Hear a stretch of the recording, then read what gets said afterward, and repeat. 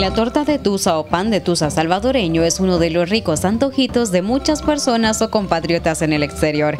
Las venden en muchas regiones de nuestro país, pero una de las más conocidas por su elaboración es San Vicente. Aquí, niña Isabel ha tomado el legado de su madre y ahora es ella en su panadería quien se encarga de producirlas junto a sus empleadas. Fue una idea de mi madre. Fue ella la iniciadora de se le ocurrió un día, ella siempre hacía este tipo de masa, pero lo hacía en eh, tortitas pequeñas o lo hacía en molde de cuadrado.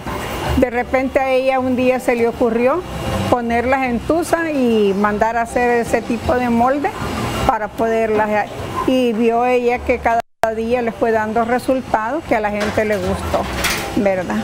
La fórmula que nosotros tenemos es original de nosotros.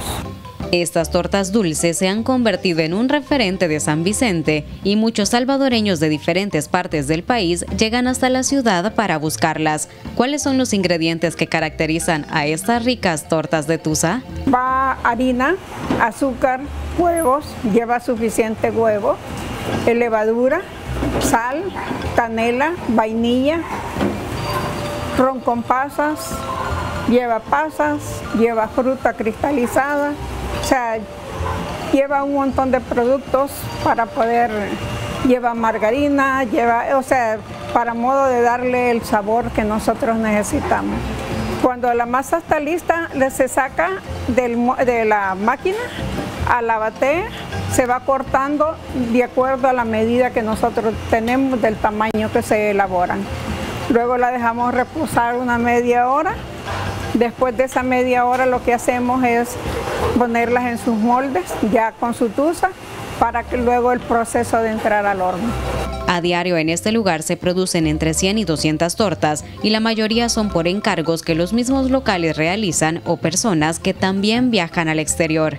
Ellas vienen acá o nos llaman por teléfono, hacen los pedidos para mandárselas a sus familiares o cuando viene la gente de allá de Estados Unidos que vienen a pasear acá a El Salvador, entonces ellas vienen profesamente a comprarlas para llevarlas para allá.